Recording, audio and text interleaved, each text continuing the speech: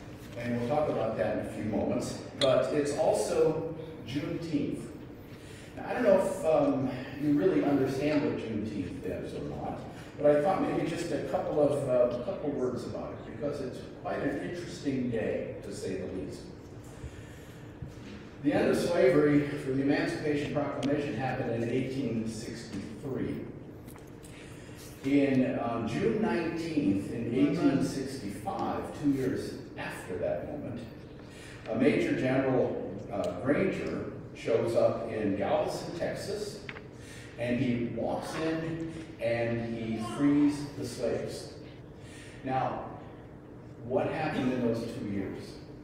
There, it's kind of uncertain, but it's kind of interesting. They said that the, possibly a courier got stopped. Possibly the owners of the slaves didn't want anybody to know what happened. But also, what's probably happened was that Texas was a Confederate state, so they held out as long as they could. But anyways, the major, uh, the major Granger shows up, and there was this tremendous celebration.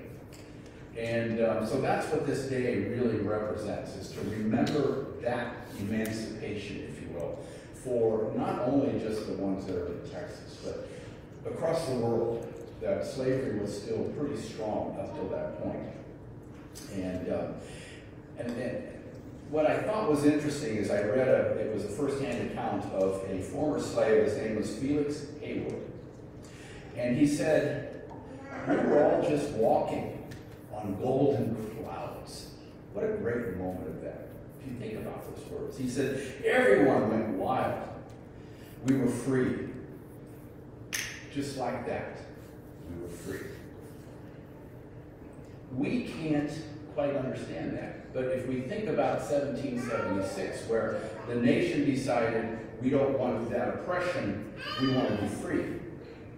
Here was a whole group of people that were innocent people taken away from their house, their homes, their livelihoods, their families, and forced to be slaves for a long time. And all of a sudden, they were free. So I hope you understand why this is such a celebration of the day. And it's a celebration because of this country also that we finally are looking at. We're all free. We're all free. And this whole world should be set free. And through all of that, we had fathers. We had mothers. Last month, last month we celebrated Mother's Day. Now we're going to celebrate Father's Day.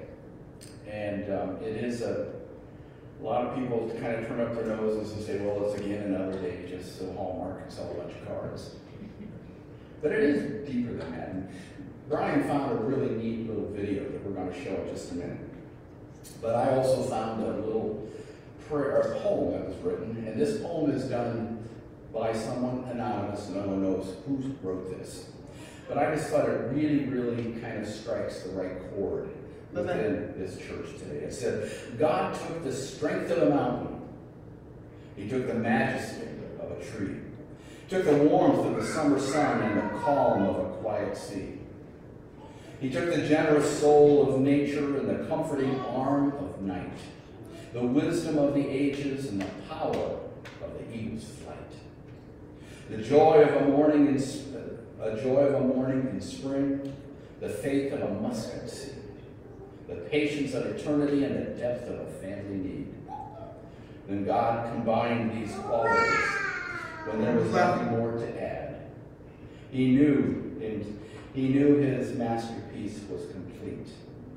And so he called it Dad. And that's nice. Moms are there for nurturing. And no one can nurture better than moms. But dads are some of that strength that we all live through and gain. And um, so thank you all dads.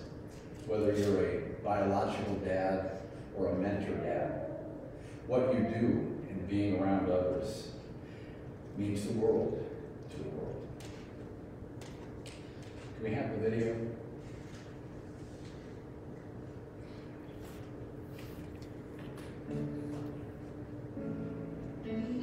A celebration for honouring our fathers and celebrating fatherhood. So, who invented Father's Day. There are few individuals credited for that honor, but most historians consider Sonora Dodd, a woman from Washington state in 1910. One fine Sunday, while the church minister is giving a sermon about the recently added Mother's Day, Sonora Dodd recommended him that there should be a Father's Day. She suggested that the date would be June 5th, her father's birthday. But who is Sonora's father? William Smart, a Civil War veteran, spent his life raising all his children as a single parent, the fact that Sonora's mother died after giving birth to her sixth child. When Sonora was married and had her own kids, she realized what a huge activity her dad had done raising their family alone. So why is it not celebrated on the 5th of June? The church minister needed more time to set up the sermon, so he moved the date to June 19th, the third Sunday of the month. One of the earliest set up to observe Father's Day was to wear a flower. Red rose if your father is still living. White rose if your father is already deceased. Later giving fathers cards, gifts, or any special activity for the day. To campaign Father's Day, Dodd asked help from manufacturers of men's product and other people who make profit from the celebration, such as creators of ties, tobacco pipes, and different items that would best fit as present for fathers. The reason why the public still resisted the idea of Father's Day. Numerous Americans trusted an official Father's Day would be simply one more path for retailers to profit since Mother's Day helped the sale of presents for moms. As early as 1913, bills had been submitted to Congress to recognize Father's Day nationally. In 1916, President Woodrow Wilson pushed to make Father's Day official, but couldn't muster enough support from Congress. In 1924, President Calvin Coolidge would also recommend that Father's Day be observed, but did not go so far as to issue a national proclamation. In 1957, Margaret Chase Smith, a senator from Maine, wrote a proposal that accused Congress of ignoring fathers for 40 years while only honoring mothers. It wasn't until 1966 that President Lyndon Johnson finally signed the presidential proclamation that made the third Sunday of June Father's Day. In 1972, President Richard Nixon made Father's Day a permanent national holiday. Today, Father's Day is celebrated all over the world. The officially recognized date of Father's Day varies from country to country. Some countries are celebrating it in March, some in May, and most countries are still celebrating it by the third Sunday of June. Some countries are celebrating the International Men's Day for those who are not yet fathers. But anyway, thanks to Sonora's love for her father, for giving our fathers a special day. That's cute. And if I just may say just a couple more words. And now you know.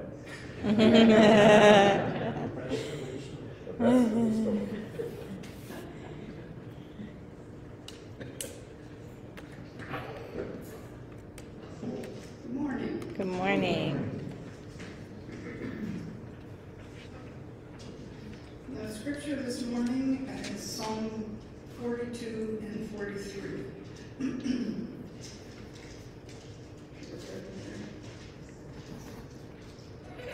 As a deer longs for flowing streams, so I long for you, God. I thirst for God, the living God.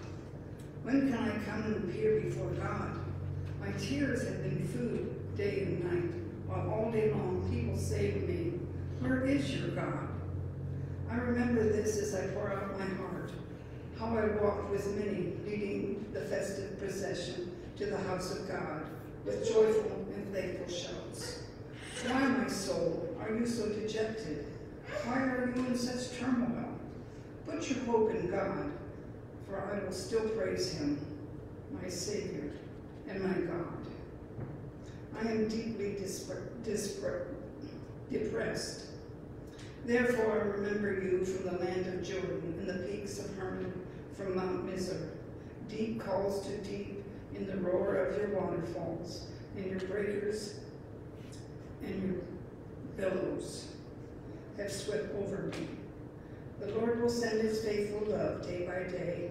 His song will be with me in the night, a prayer to the God of my life. I will say to God, my rock, why have you forgotten me? Why must I go about in sorrow because of the enemy's oppression? My adversaries taunt me, as if crushing my bones, while all day long they say to me, Where is your God? Why are you in such turmoil? Put your hope in God, for I will still praise him, my Savior and my God. Vindicate me, God, and champion my cause against the unfaithful nation Rescue me from the deceitful and the unjust person. person. For you are the God of my refuge. Why have you rejected me? Why must I go about in sorrow because of the enemy's oppression? Send your light and your truth. Let them lead me. Let them bring me to your holy mountain, to your dwelling place. Then I will come to the altar of God, to God my greatest joy. I will praise you with the lyre, God, my God. Why, my soul, are you so dejected? Why are you in such turmoil? Put your hope in God, for I will still praise him, my Savior and my God. Word of the Lord. I have a couple prayer requests.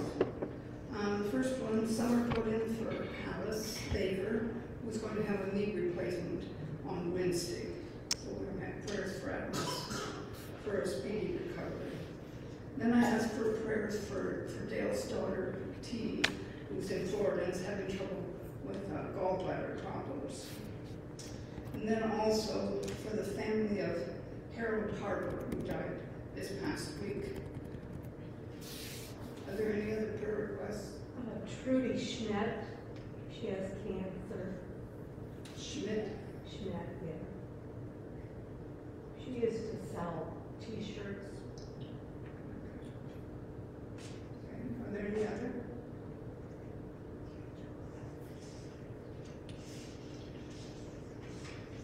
Shall we pray? Heavenly Father, today we ask for blessings for our fathers. We ask you to guide them to be good role models and loving to their children. Give them grace and patience to handle all situations in a loving and caring way. We ask for comfort for those whose fathers are no longer with us. We thank you, Heavenly Father, for your wisdom, your caring, and your love and your guidance. We are thankful for your presence. We know you are always with us. Help us to turn to you with our needs. We pray today for those who have been affected by the storms of this past week, those who are still without power, and those who have sustained damage. Comfort those who are suffering. Minister to the needs of the mind, body, and spirit. We thank you, Lord, for this church family. We are so blessed with caring and loving members and friends. We now pray for those who need your healing power and loving touch. Pray for Alice, for T, the family of Harold Harper, and Trudy Schmidt. Be with our shut-ins and those unable to attend our services. Be with those who are traveling. And hear now those unspoken prayers deep in our hearts.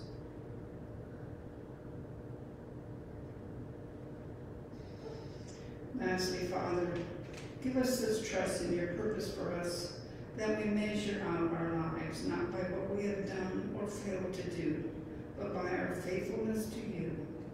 We ask this in Jesus' holy name, who taught us to pray. Our Father, who art in heaven, hallowed be thy name. Thy kingdom come, thy will be done, on earth as it is in heaven. Give us this day our daily bread. And forgive us our trespasses, as we forgive those who trespass against us. Lead us not into temptation, but deliver us from evil. For the kingdom, and the power, and the glory forever. Amen.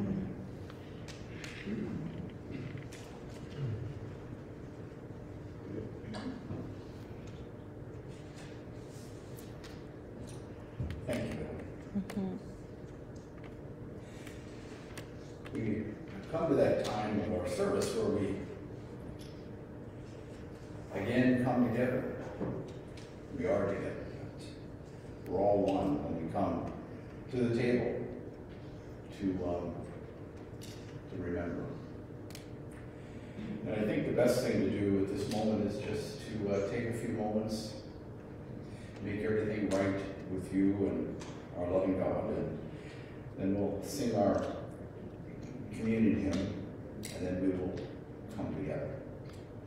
So let's take a few moments and then we will sing our hymn.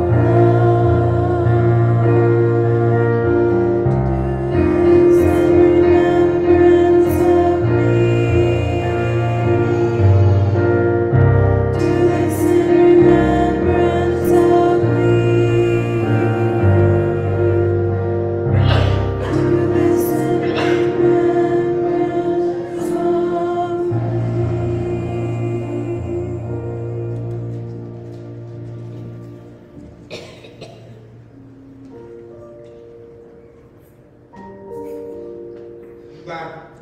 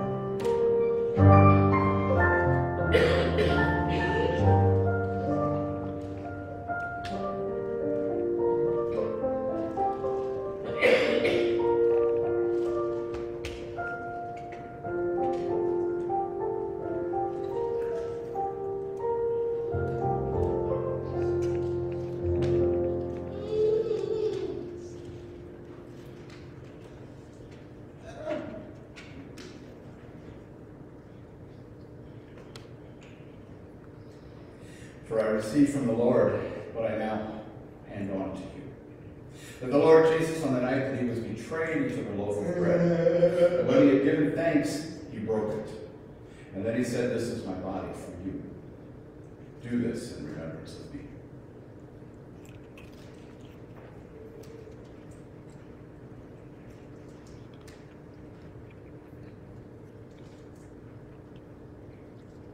And then in the same way, he took a cup also after supper, saying, This cup is the new covenant of my blood. Do this as often as you drink it.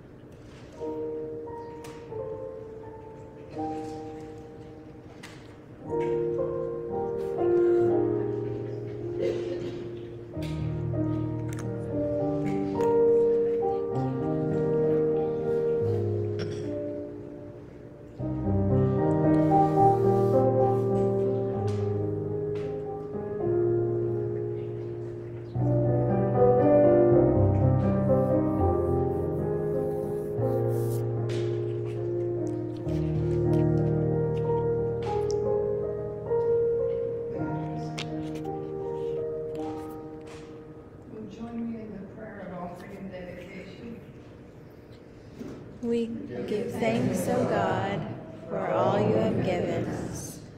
Pour out your blessings on these tithes and offerings, that they may be a source of blessing in our church, in our community, and in our world. In the name of Jesus, we offer this prayer. Amen.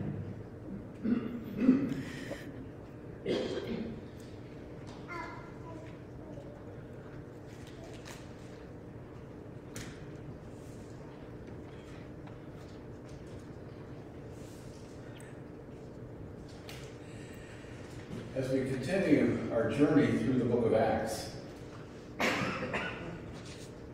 the scripture that I chose, Acts 7 57, uh, starting verse 55 through 60, and then the first couple, three verses of chapter 8, is actually, it's about the very first recorded martyr of the Christian, one who believes in Christ.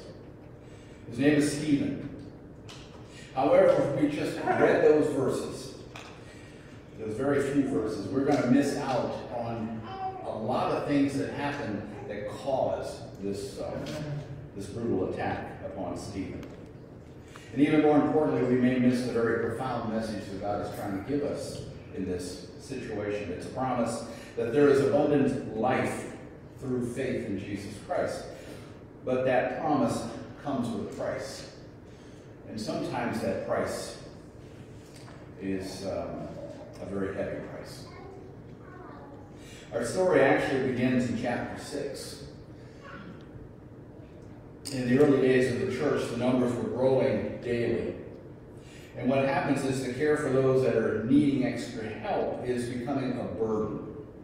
There's, uh, so what happens is the believers start pulling their resources and they shared in their commonwealth. And isn't that interesting what we do even today? That's what happened in that little tray that uh, when you put it in the backpack there. We're sharing our resources with those that need help. Now, high on this priority list was uh, to provide help for the widows and the orphans. Those are exactly what Jesus' words are. Food was distributed on a daily basis, which ultimately, though, led to problems. Some were getting more than others. You hear something going on there? There are squabbles between groups, and it breaks out all through these new believers. And it disrupts the apostles because they're trying to move the church forward, and all they're doing is having to deal with these problems that are erupting. Now, I have to say, Sue was in on this too, and along with Dalmita and myself down at the pump house, we had a food pantry. And it was wonderful to help people the way we did. But it was interesting, couple things happened. Sometimes people were angry because they didn't have the brand on the shelf that they wanted. or they wanted five instead of one. Um, but also on the other side of that, there are so many food pantries given through this whole county, especially within the city, that everything should have been pooled together for one place for people go to. But what happens is nobody would do that. We would talk to try to get everybody to go to one place and everybody gets served in a proper and appropriate way. But we have churches, uh, and nothing wrong with this, but there was a little church in Jeromesville that um, everybody brought food every Sunday. They put it in bags and then they walked up and down the streets after church service and just took bags to the next house, the next house, the next house. Until finally one person walked into this house for the mm-hmm. umpteenth time and all of the bags of food were still sitting in the dining room and the kitchen because the people didn't like it or needed it or they didn't like what was given. So, see, it's not uncommon that these situations, when we think we're doing something right, can be taken advantage of. So, in order to relieve some of the situations that, that, that was happening to the apostles, they decided to call on seven men of good standing, and as uh, Luke says, full of the Spirit of God. And they're here to take over the responsibility of distributing the food. Stephen was happens to be one of the chosen. Now Luke describes Stephen as a man of full of God's grace and power. Those are pretty powerful words when you think about it. In other words, Stephen was especially gifted. Gifted, we're going to look at that word for a few seconds too. He stood out from all of the others. But I need to say this, if you look at the list, and I hope you go back and read through chapter 6 and 7, the second name on the list was Philip. And Philip basically takes the place of Stephen, and he goes out um, and ministers to many. So this list was not, um, it's not just Stephen. Everybody on that list did some wonderful things. But Stephen was one of those people who his mind and heart are always at ease through any kind of situation, quite honestly. Someone who's not easily flustered, he goes through life with uh, grace and dignity, he always has a smile on his face. I think we all know someone like that.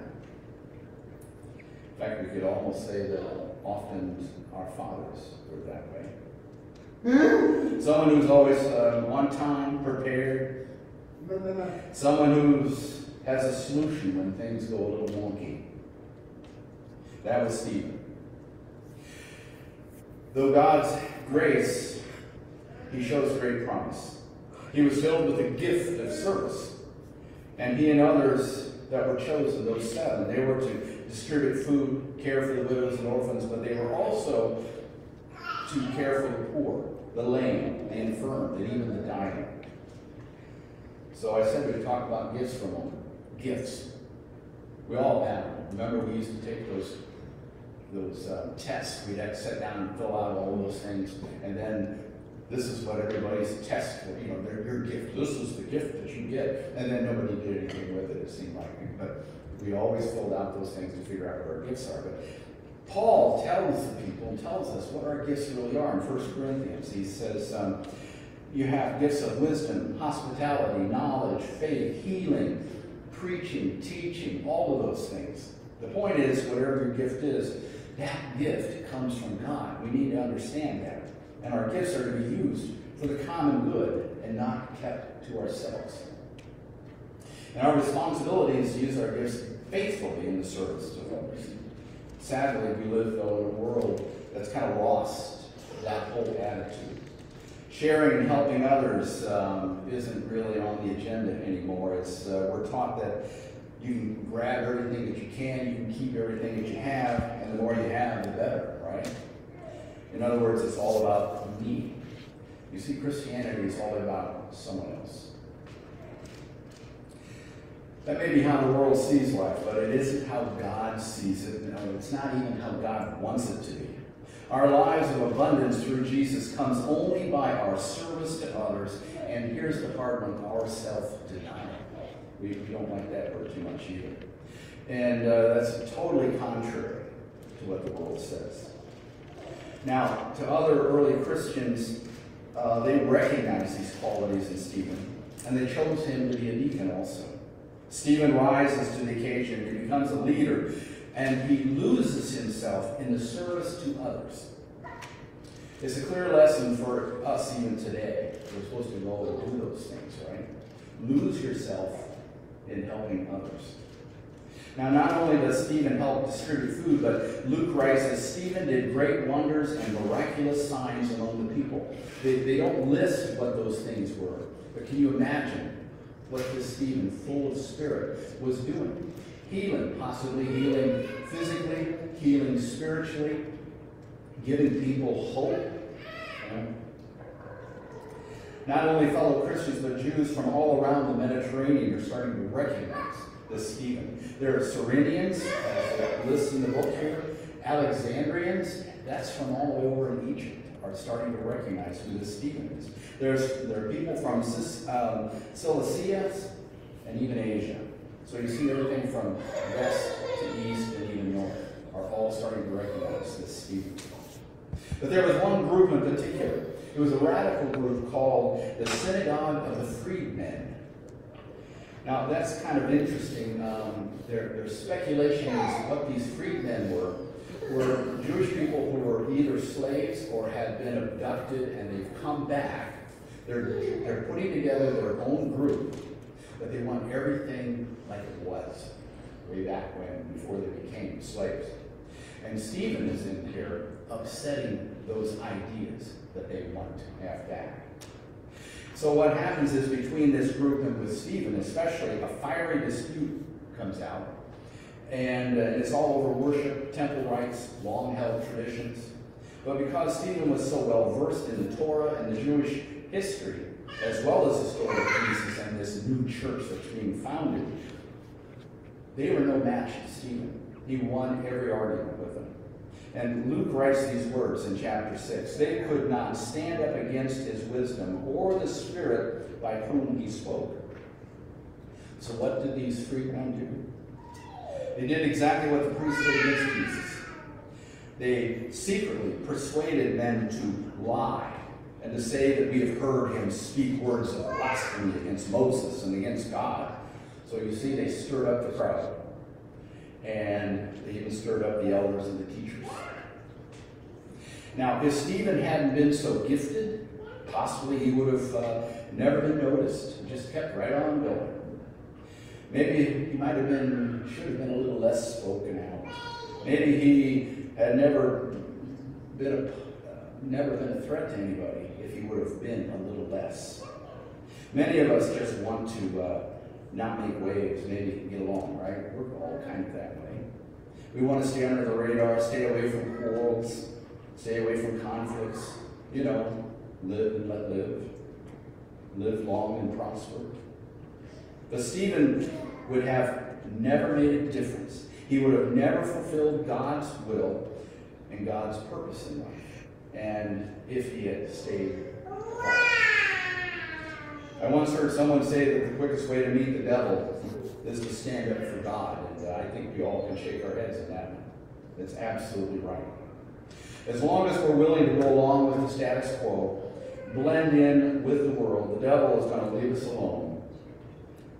We wouldn't even be a threat. However, speak up, take a stand, be a witness to the truth of God's word. That's when attacks start coming down on us. Every conceivable directions we can be attacked. Opponents will try to pull us down. We could even be excluded by our own families, our friends, dismissed as being one of them. Stephen stood up and he stood his ground. And when the freedmen couldn't win an honest debate with him, they decided to play dirty. So, armed with their lies and trumped up charges, they seized Stephen, and guess what? They brought him before the Sanhedrin, the highest court in Jewish life. Stephen is now on trial for his very life, but it doesn't seem to faze him at all. As one false witness after another testifies against him, Jesus sits perfectly still and he's calm. He's at peace. In fact, Luke tells us all in the Sanhedrin looked at Stephen and saw that his face was like the face of an angel. You see, being persecuted, but he's at peace. Reminds me of what Jesus said in Matthew 5. We read the Beatitudes all the time, but here's the Beatitude in action. Blessed are you who, when people insult you, persecute you, and falsely say all kinds of evil against you because of me, being Jesus. Rejoice and be glad, because great is your reward, not here, but in heaven. Mm-hmm. See how that's perfect in this situation. You see, we need to understand there's unlimited blessings in store for anyone willing to speak God's word of love and truth to the world. The question we each need to ask ourselves, though, is this If I was on trial for being a Christian, would I be found guilty? Or would there not be enough evidence to convict? Ouch. Do our lives, our own lives here, reflect Jesus or reflect the ways of the world?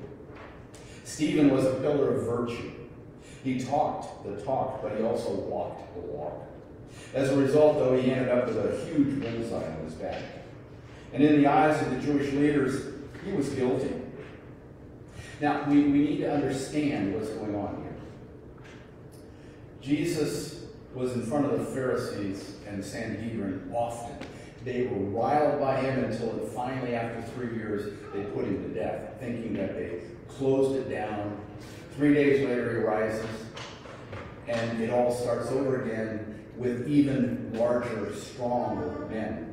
And then all of a sudden they take those men and they arrest them and they tell them to be quiet and then they let them loose and then they keep talking again and they tell them to be quiet again and they beat them and it just keeps going and building. You see what's happening here? This isn't an incident. This is something that's been building for a long time. And every time they try to snuff it out, it builds even stronger.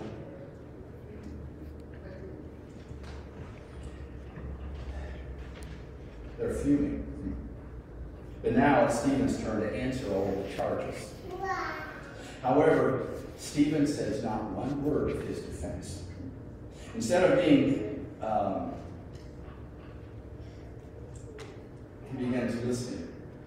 Some wonderful words in the ministry of what God does. He starts with the covenant of Abraham and the prof- and the promise of a great nation. Then how God used Joseph to save the people from starvation, and how people of Israel became slaves in Egypt, and the deliverance as Moses led them into the promised land. Then he spoke of the great days of King David his son King Solomon, and the very building of the temple of the Lord which they're at. And I think it's interesting.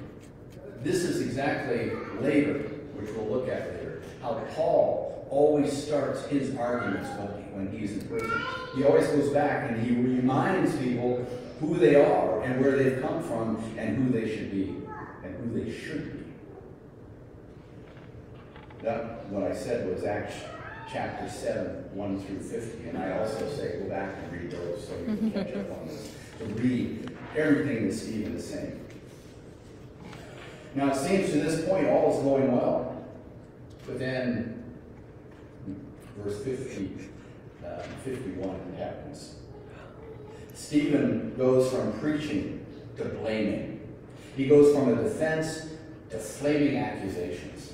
He points his fingers at the leaders, and listen to what he says. He said, You stiff necked people. They've heard that one a number of times, and that really starts to crank up that, that, that heat. He says, You're all circumcised, uncircumcised in heart and in ears. You're always resisting the Holy Spirit. And then he says, As your fathers did, so do you. Which of the prophets didn't your fathers persecute? You get that?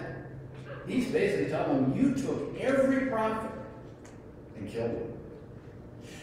He said, They killed those who foretold the coming of the righteous one. And now you too have become betrayers and murderers. You received the law that was ordained by angels, but you haven't obeyed it. Wow. Talk about instigating a riot. I mean, think about those words. These are the leaders of the church. Luke tells us that when Stephen finished speaking, the leaders were cut to the heart and they were furious. No surprise here. What else could Stephen expect after accusing them of betraying and murdering Jesus, the very Son of God, the promised Messiah? So in Acts 7:55, finally we get to our scripture for the day.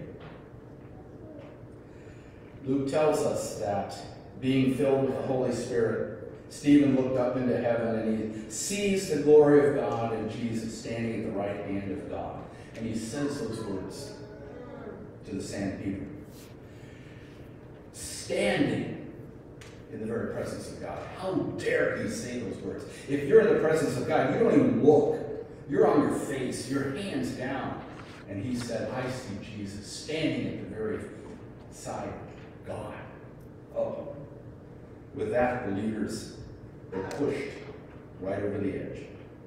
They'd cry out at the top of their lungs. They'd plug their ears, which I think is an interesting thing of saying that too.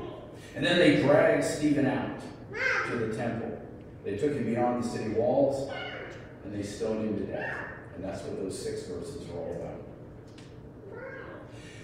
But as he was being stoned, Stephen prayed, Lord Jesus, receive my spirit with smiles. And then falling on his knees, he cries out, Lord, do not hold this sin against them. And when he had said this, he fell asleep. I don't know if you notice anything here, but there's quite a similarity. Jesus started with arguments, same way. He was arrested, so was Stephen. He is before the Sanhedrin, so was Stephen. He was silent, so was Stephen.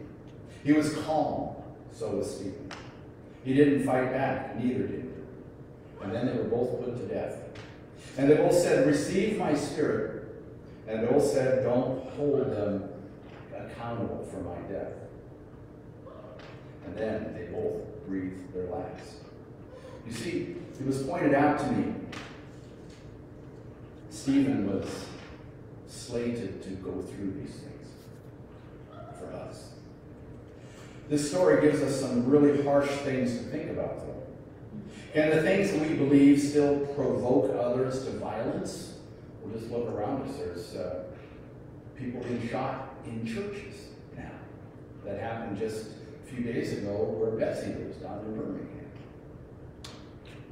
So if these things still do happen, are we to continue to speak out or should we just be silent and maybe not make waves? What should we do?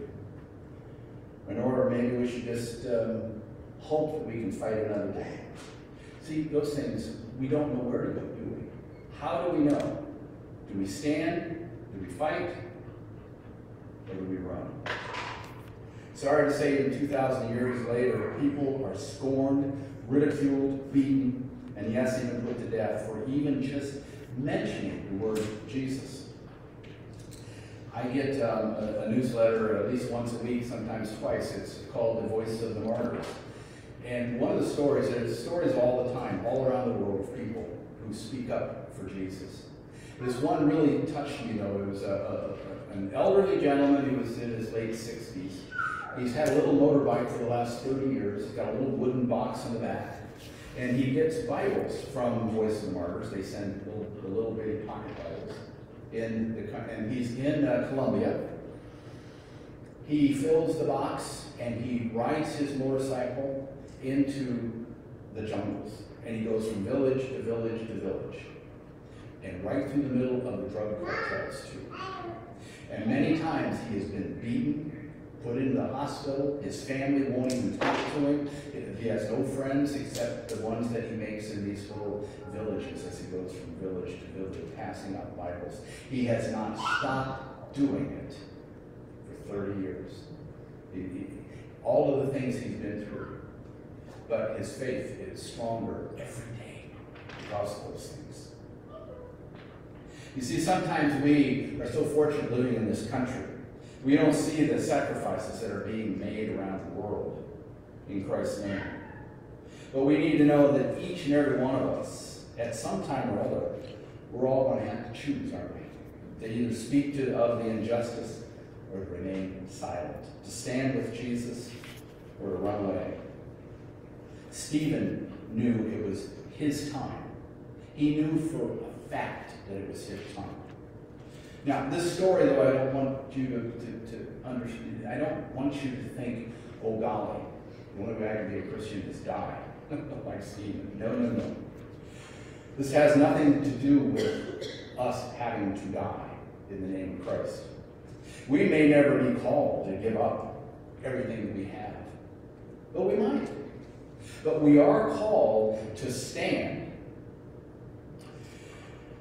But we'll also know, and the, and the way we'll know these things is one, knowing this book, knowing what Jesus is telling us in this book, um, keeping it and knowing that the Spirit will direct us where He wants us to go. The Spirit directed Stephen there. The Spirit will direct us wherever He wants us to go. But we need to understand where to go and when it speaks to us.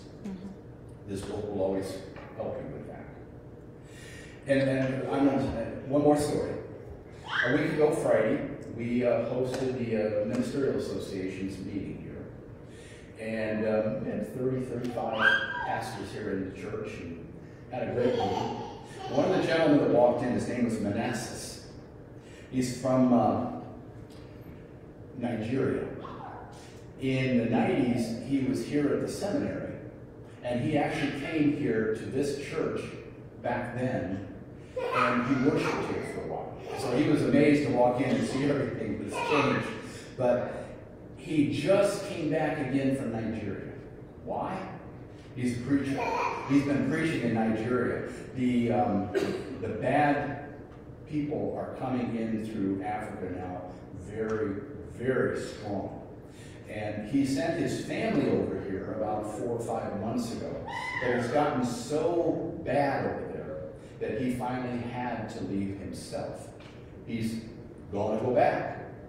And he's already been run out of his country once, and he's got to go back. So you see, we don't have to die the way Stevens did. That's, that's my point. He knows, he knew it was time that he had to leave because he has more to say. And, and standing out there in our little gathering room and speaking with him, it just filled with pride of what he was saying and what he was doing. So you and I are like Stephen, though. We just have to understand what God wants of us. We need to understand that our lives are never to be about ourselves. As believers, we're to help others. We're to help the poor, the needy, the widows, the orphans, to pass on God's word to others, and to stand up against all injustice, regardless of our age, regardless of our personal fears, regardless of our own pains, because we're doing all of this through the love of Jesus. There's a little addendum.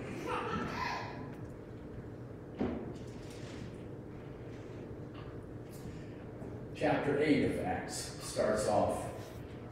And Saul was there giving approval to Stephen's death.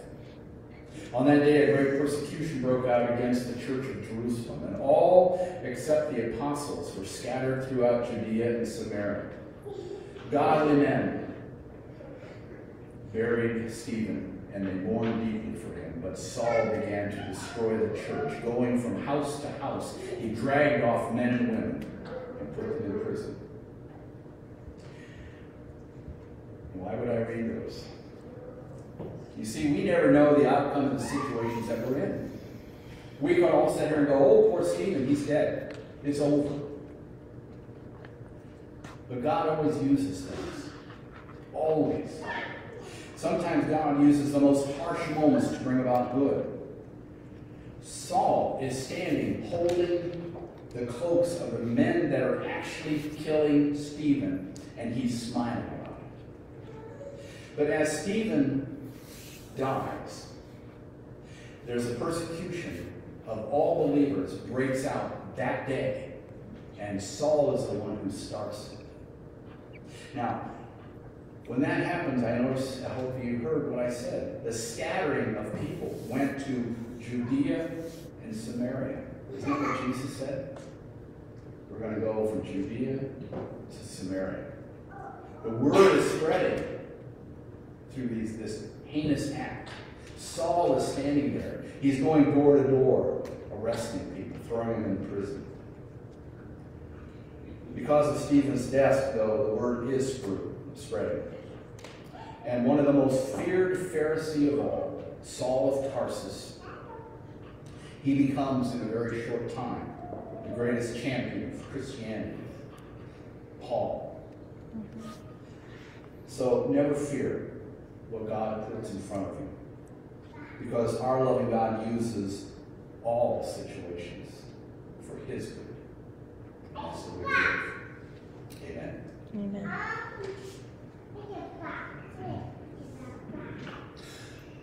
If you're able to stand, if you'd like to join us in our ending, our closing hymn, Great is Thy Faithfulness. Powerful. Spirit